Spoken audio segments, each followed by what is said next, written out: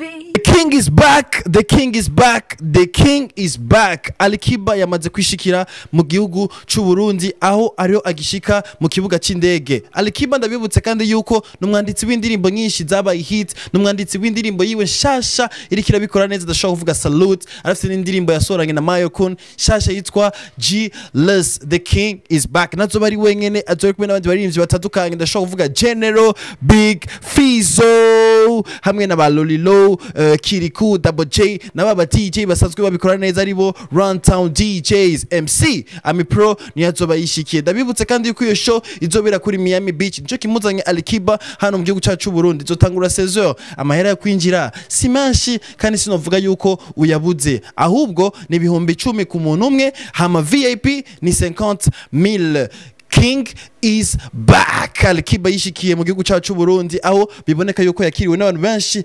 batandukanye abajournaliste benshi n'abandi baririmbyi bamwe bamwe eh, bashoboye kuja kumwakira ku kibuga c'indege. Mercure Ndadaye ndakwibutse kandi ntiwibagira umunsi ni lo 25 eh, mu kwezi kw'indwi 2021 ikibanza ni Miami Beach. Twese hamwe tuzohahurire tuge vibe imeze neza n'abaririmbyi bacu n'aba DJs bacu dusanzwe dukunda hamwe na King Kiba Eh, habari za uwanjani zilikuwaje kaka? Uwanja gani? Uwanja yani avio kule juu.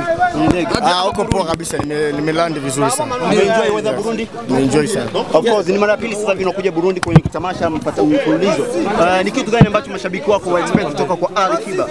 Ah, last time tulishindwa kufanya show hapa kwa sababu ya mvua, lakini this time tutaenjoy zaidi. Yes, watu wengi wanasema kwamba eh, inawezekana ikafeli sana kama ya last time, lakini eh, wewe kama Kiba unawaambia nini? Hapana, Mungu ukiwa kwenye stage huko ama vitendeka chama mtaanza kwanza mshuti kwenye mshuti ma video. tutafanya collaboration na wasanii ambao kuna nyimbo nimetumiwa na siwezi kuwataja, watawa surprise wao wenyewe.